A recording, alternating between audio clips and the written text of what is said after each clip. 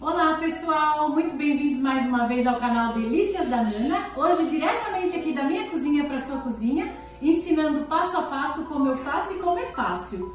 E hoje eu vou ensinar vocês a fazer um bolo que chama-se piscininha de curau. Esse bolo é fantástico. Eu comi, adorei e falei, ele tem que ir pro meu canal. E eu vou explicar para vocês por que, que é um bolo piscininha de curau.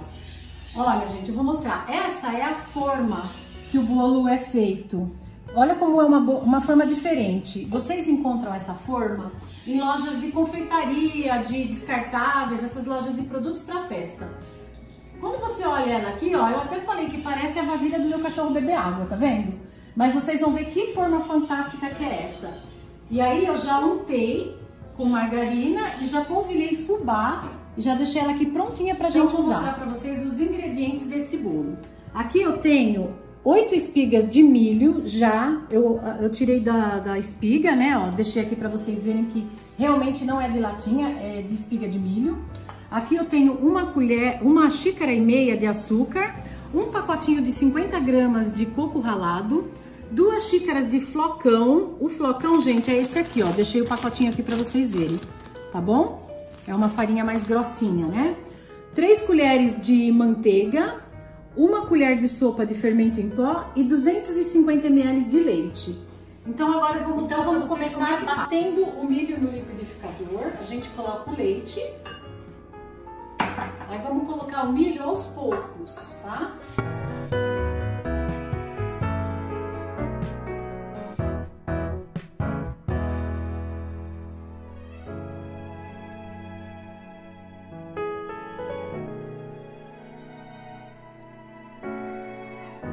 Então aqui eu tenho batido o milho, o leite, o açúcar e a manteiga.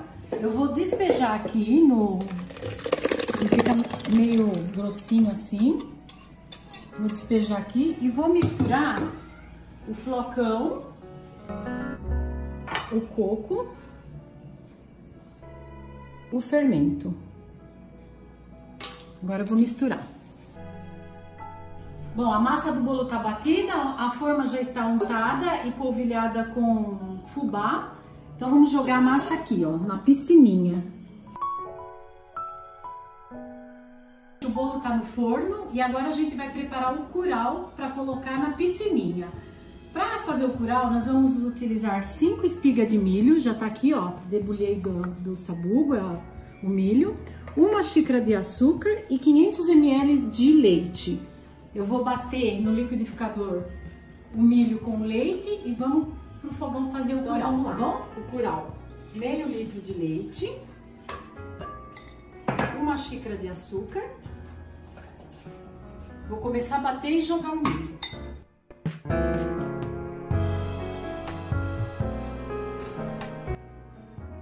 Pronto, agora já batemos bem o milho com açúcar e leite. Eu vou, vou coar para tirar o bagaço bagaço aqui, ó. Também excelente para fazer um bolo de milho também. Não precisa jogar ele fora, não. Faz um outro bolo e coloca esse bagacinho aqui, ó. Vai ficar um bolo super saboroso. O bolo já tá assado, nós vamos tirar do forno. Vamos ver como é que tá? Nossa, olha, Fran. Como ficou lindo.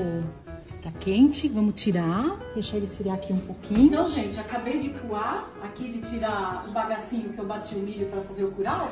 E, ó, eu guardei aqui, ó, o bagacinho do milho para fazer um outro bolo, né? Faz um bolo de fubá e coloca esse bagacinho no meio, fica bom também. Agora vamos levar no fogo pra Então, gente, olha, o grau já tá no ponto. Gente, olha que tá lindo, tá. Passado, agora é a hora do tchan tchan tchan tchan. Vamos ver se ficou lindo.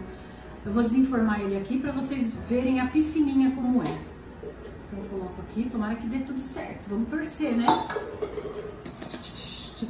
Um, dois e...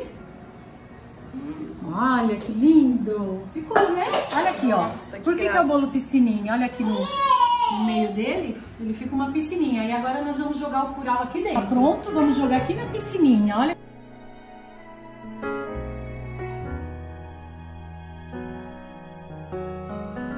No final, vamos pulverizar a canela, que combina muito bem com o curau.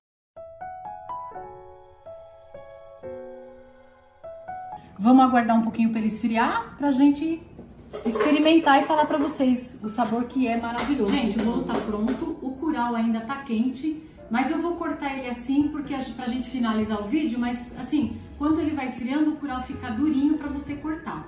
E um detalhe que eu quero falar pra vocês também, nesse bolo eu coloquei oito espigas de milho. É, dessa vez o milho que eu comprei, ele tava um milho graúdo e bem amarelinho. Então eu acho que não é necessário oito, porque eu tive dificuldade em bater no liquidificador as oito espigas só com 250 ml de leite. Então o ideal seria, se o milho for grande e tiver graúdo grão, vocês põem cinco espigas, tá? Agora se for aquele milho branquinho, assim meio ralinho, pode pôr mais, pode pôr sete ou oito espigas, tá bom? Então é isso, vamos cortar para ver como é que ficou esse bolo.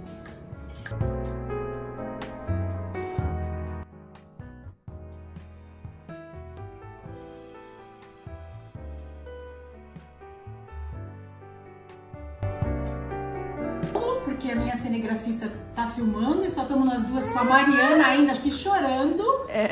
E olha que delícia, eu vou experimentar. Hum.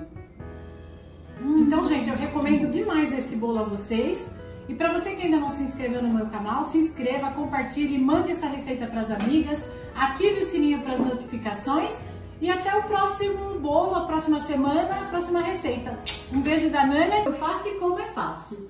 E na receita de hoje tem uma receita super especial. Tirar, deixar ele esfriar aqui um pouquinho. Daqui a pouco a gente